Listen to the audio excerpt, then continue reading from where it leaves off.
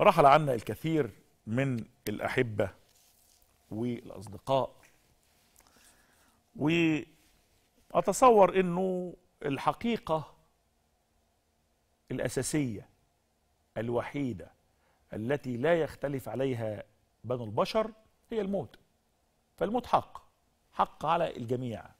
كل من عليها فان كله هيموت اللي ناسي واللي فاكر المؤمن والكافر الحلو والوحش كله ميت. لو وصلنا إلى هذه القناعة وتذكرناها أكيد سلوكنا هيتغير مع بعضنا البعض. وبقول تاني إنه الكراهية والبغضاء لما تنتشر وتسود الأمراض بتنتشر وبتسود لأنه الكراهية هي باب الأمراض. لا يمكن لواحد يكون بيكره وبيحقد وبيحسد ويكون صحته كويسة. بالتأكيد صحته هتعتل وهيمرض لأنه الكراهية ممرضة. فبقول نتخلى عن الكراهية ونستبدلها بمساحات من الحب الصادق ونستبدلها بمساحات من التسامع الحقيقي. مش بنظر ولا بقول مواعظ لكن بقول اللي أنا شايف إن فيه تمدد لظاهرة اسمها ظاهرة الشماتة في الموت وظاهرة الفرح لموت الآخرين وظاهرة إنك أنت بتتجرأ على الله وتقول مين هيخش الجنة ومين هيخش النار. شفناها للأسف من مجموعة من الجهلاء بدين الله والذين يتجرؤون على رب العزة بيتجرؤوا عليه بيتألهوا على الله. بقول إنه هؤلاء للأسف الشديد كانوا مصدرين نفسهم للمشهد على أنهم دعاة. النهارده بيغيروا التايتل بتاعهم من من دعاة إلى قضاة إنجاز إن هم كانوا دعاة. أنا هسلم جدلا إن هم بالفعل كانوا دعاة يدعون إلى الله. فجأة بيغيروا البادج بتاعهم من دعاة إلى قضاة. قضاة بياخدوا بإيه؟ مش بين الناس. ده بياخدوا بين الناس وبين ربنا وبيحطوا مج... نفسهم مكان ربنا سبحانه وتعالى. لما مات صديقنا وائل إبراشي ومات صديقنا ياسر رزق ومات المستشارة الجليلة المرحومة تهاني الجبالي وأخيرا مات من يومين الأستاذ سيد القمني الدكتور سيد القمني. فوجئنا أنه هؤلاء الذين كانوا يتقدمون الصفة على أنهم دعاة.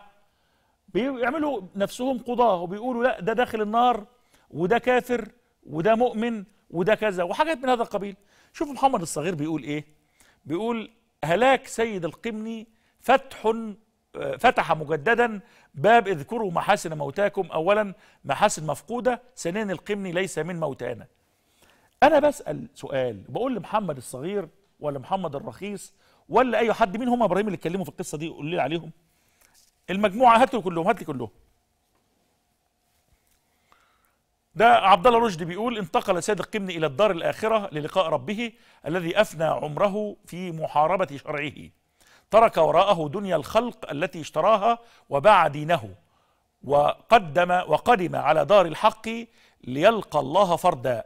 ولقد جئتمونا فرادا كما خلقناكم أول مرة فاللهم توفنا على ملتك وثبتنا على شرع على شرعتك. هو بيقول باع دينه. أنا بسأل وبقول لعبد الله و... و... وبسأل الصغير وبسأل لغيره أنتوا شفتوه هو بيبيع دينه؟ يعني شفتوه عامل عقد بيبيع دينه؟ هلا شققتم عن صدره. شوف اللي بعد كده بيقول عاصم عبد الماجد هلاك المرتد سيد القمني كان يهزأ بالقرآن ويشجع على الردة إحدى تلميذاته المرتدات هاجرت لأمريكا واختفت كذا كذا. غيره في تاني يا ابني؟ حاتم الحويني سيد القمني استراحت منه الأرض بناسها وبدوابها وشجرها لسوء فعاله وضلاله أفضى إلى ما قدمت يداه فعليه من الله ما يستحق فاللهم عامله بعدلك. ده يعني لا ده ده ساب الأمر ربنا ده ما ما ما تقلاش يعني. خليني بس أقول لحضراتكم آه بيقول في حديث ورد في صحيح مسلم في صحيح مسلم. والناس برضو الفقهاء يراجعوني لو أنا غلطان حد يصلح لي؟ مفيش مشكلة. عن جندب ابن عبد الله قال قال رسول الله صلى الله عليه وسلم قال رجل والله لا يغفر الله لفلان. والله لا يغفر الله لفلان. ربنا مش هيغفر لفلان. ده واحد بيقول. فقال الله من ذا الذي يتألى علي؟ مين اللي بيتجرأ علي؟ ربنا بيقول من الذي يتألى علي؟ ألا أغفر لفلان؟ إني قد غفرت له وأحبطت عملك. ده رواه مسلم. رواه مين؟ رواه مسلم. ارجعوا له شوفوه. خد بالك ده واحد بيحكم على الله استغفر الله العظيم. اللي بيتألى بيحكم على الله بيقول له دخل مين الجنة ودخل من النار واغفر لمين وما تغفرش لمين. وأنا بقول يا جماعة أنت مش ال control room بتاع ربنا. أنت مش قاعد آه، أستغفر الله العظيم. أنا ده, ده أحاديث قدام حضراتكم. أنا دخلت قريت والله أحاديث كتير جدا أهو. ويل ده تاني. ويل للمتألين من أمتي. ويل للمتألين من أمتي. مين هم اللي بيحكمون على الله. دول بيحكموا على الله. فويل لهم. ويل ده وادي في جهنم. كل الناس دي اللي بيتكلموا دول كلهم كفروا ياسر رزق وكفروا وائل إبراشي وكفروا مش عارف مين وكفروا القمني وقالوا دول أعوان الظلمة وكفرونا ولعنونا وشتمونا وغيره. دول بيتألوا على الله. دول اللي ربنا حذر منهم وقال والرسول صلى الله عليه وسلم في الأحاديث ويل للمتألين من أمتي. وتاني ربنا بيقول من ذا الذي يتألى علي ألا أغفر لفلان. أنت مالك؟ أنت مالك؟ أنت مالك؟ أنت مالك؟